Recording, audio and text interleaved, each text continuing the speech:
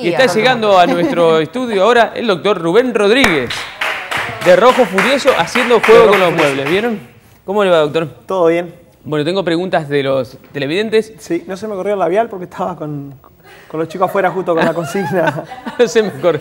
Las mascotas se besan, sí, se besan. Se besan. ¿Los perros? Los perros no, no se besan. Sí, pero otro tipo de gesto, digamos, ah. obviamente, ¿no? No, no como los humanos, claro.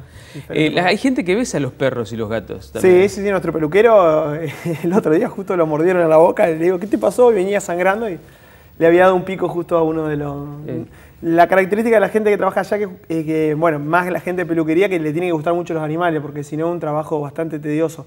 Y bueno, eh, justamente a los chicos les, gusta, son bastante perreros y, y bueno, le di un beso a un, al perro no le gustó. Hay que tener cuidado. No, es peligroso para los chicos, sobre todo para, por la transmisión de enfermedades. No, no, no, no, pasa nada. No, no, no. Eh, la gente los besa mucho. Hoy se dio un caso antes de ir a las preguntas de una persona que fue atacada por dos pitbull y se reactualiza como siempre este, la, la, la polémica alrededor de los perros peligrosos, ¿no? de los cuidados que hay que tener.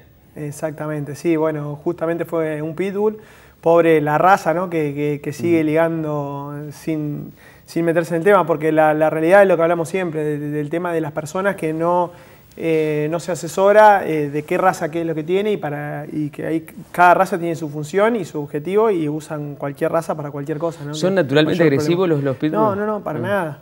Para nada. Yo he venido acá con, Tango, el mío, viste, que es un cachorro. Eh, bueno, tengo la madre también, todo, pero son excelentes, son re buenos con los chicos y todo. Todo depende de cómo uno lo cría, cómo uno le dedica tiempo y cómo lo alimenta, influyen un mm. montón de cosas en, el temperamento de esta raza, pero obviamente que es una raza que fue creada, es más, eh, recién ahora se está aceptando como raza en el Kennel Club, porque uno cuando presenta una raza tiene que presentar una función de la raza, es decir, mm. yo hice esta raza eh, con determinados cruzamientos, que tiene que decir cuáles fueron, eh, con este objetivo. Y el objetivo de esta raza en principio era la pelea de perros. Obviamente como las peleas de perros están prohibidas en el mundo directamente, eh, no, no se dejaron presentar. Y ahora se lo presentó como animal de compañía y animal de guardia, y bueno, recién ahora que, que fue reconocido, pero en definitiva no se modificó genéticamente para presentar, ser presentado de guardia o de compañía.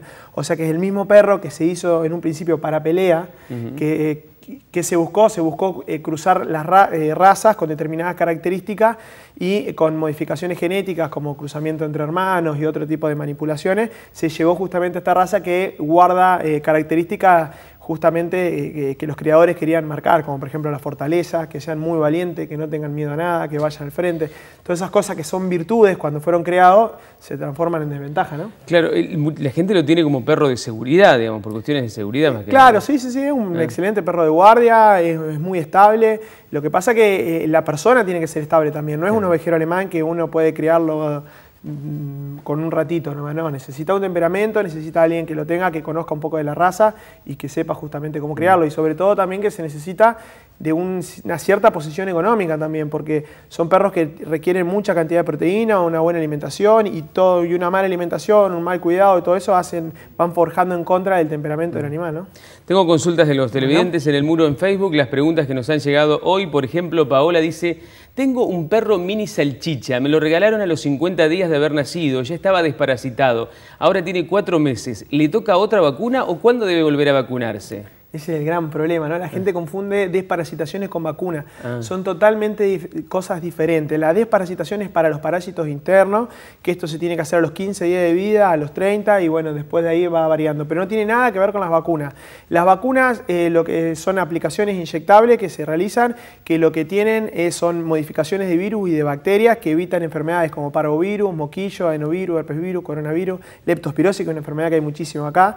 Y también hay una cosa importante aclarar, que son vacunas 100% seguras, porque hay gente que tiene miedo a vacunarlo o lo vacuna y después le adjudica que agarró parvovirus porque le puso el día anterior la vacuna. Y en realidad lo llevó justamente porque ya lo notaba decaído y por miedo a que agarre parvovirus lo lleva a vacunar, ¿no? Otra de vacunas. ¿Debería, pregunta Carla, haberle puesto, debería haberle puesto una vacuna a mi perrita en el mes de abril y aún no la lleve? ¿Qué pasa si se pasa del tiempo? Si es un refuerzo anual, o sea que si es un perro adulto que es nada más que el refuerzo anual, no pasa nada. Si es un cachorro que se vacuna cada tres semanas, se hacen tres dosis cada tres semanas, se pierde el efecto buffer, que es lo que se está buscando, que es eh, que el sistema inmune eh, vaya guardando una memoria y una respuesta. Entonces eh, habría que ver si pasó mucho mm. tiempo, cómo, cómo se retoma de vuelta ese plan. Cristina dice, tengo una caniche y se le hacen esas lagañas en los ojos. ¿Qué le puedo poner? ¿Solo sacárselas periódicamente? Gracias, a veces se acumulan y se ponen muy duras. Claro, eh, las lagañas lo que habría que ver es que ningún pelo le esté molestando, que es muy propio de la raza, eh, adentro del ojo, ¿no? Pero vienen productos eh, justamente para eso, que más allá de sacarle la lagaña, lo que hacen es volver, en el caniche sobre todo, volver a teñirle de blanco los pelos para que no se le quede oscuro y manchado, una cuestión estética nada más, ¿no? Pero anda muy bien. Carlos pregunta, ¿a los cuántos días se desparasitan los cachorros? ¿La mamá también hay que desparasitarla? Los cachorros se desparasitan, como dije recién, a los 15 días y a los 30 días de vida. Lo ideal es que la madre se desparasite a los 45 días de gestación, o sea, 15 días antes que para. ¿Por qué? Porque eh, hay una, forma de que los cachorros se puedan infectar que es transplacentario. O sea, los parásitos van por vía, eh, pueden pasar la placenta y enfermar al cachorro. Entonces, por eso es que se desparasita a los 45 días a la madre, ¿no?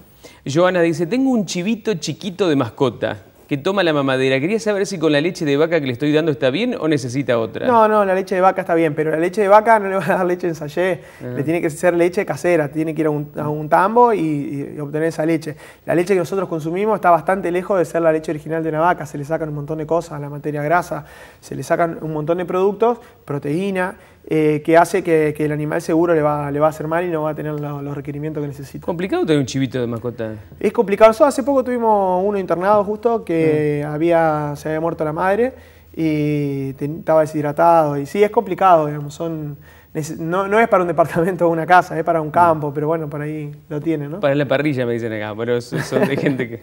Cana Clemente dice, hola, hace un mes que nos mudamos y mi perra está triste. ¿Es por la mudanza? ¿Qué puedo hacer? Sí, seguramente. Los gatos, sobre todo, sufren mucho más el, tema del desarraigo. Y con respecto al perro, hay que ver eh, qué pasó, qué, cambios tuvieron ellos. El, perro no se, no se adecua mucho a un ambiente, se adecua mucho a las personas. Entonces, eh, probablemente capaz que estén muy ocupados ellos con el tema de la mudanza y con otros aspectos, o que tengan menos patio y, le estén dedicando menos tiempo al animal, que le dediquen mm. más tiempo al animal y no va a haber mucho problema. Respondimos preguntas hoy de los televidentes, como siempre el doctor Rodríguez los miércoles con nosotros en el tradicional consultorio veterinario. Gracias doctor, nos vemos la próxima semana.